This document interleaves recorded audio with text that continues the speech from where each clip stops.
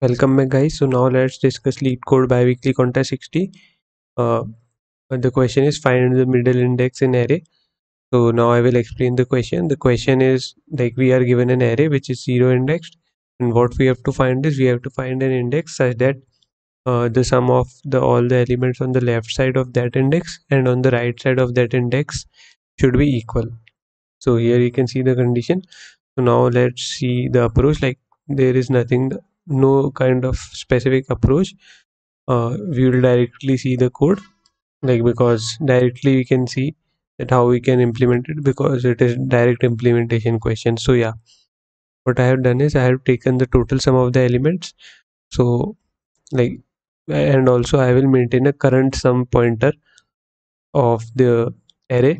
If i know the current sum and total sum then i will then i can calculate the remaining sum of the array how we can do this is like I know the current sum like this is current sum.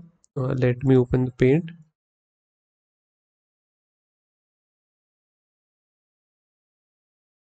Now let's suppose this is the array.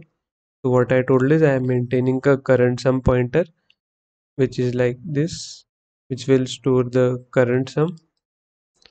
And what I what I already know is total sum. Total sum okay so now let's suppose I know the sum till here. So how can I calculate the sum of elements residing here? I can directly calculate by total sum minus current sum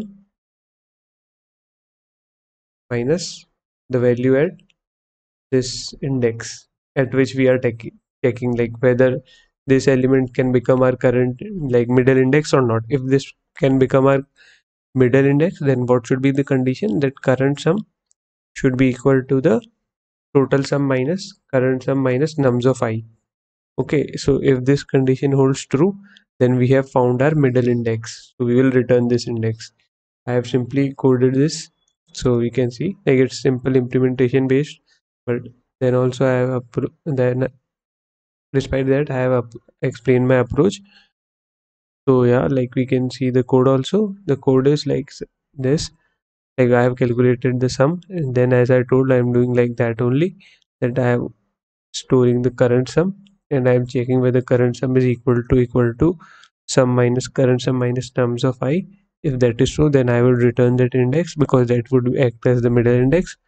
Otherwise I would return minus 1 so yeah this was the solution for question 1 thank you guys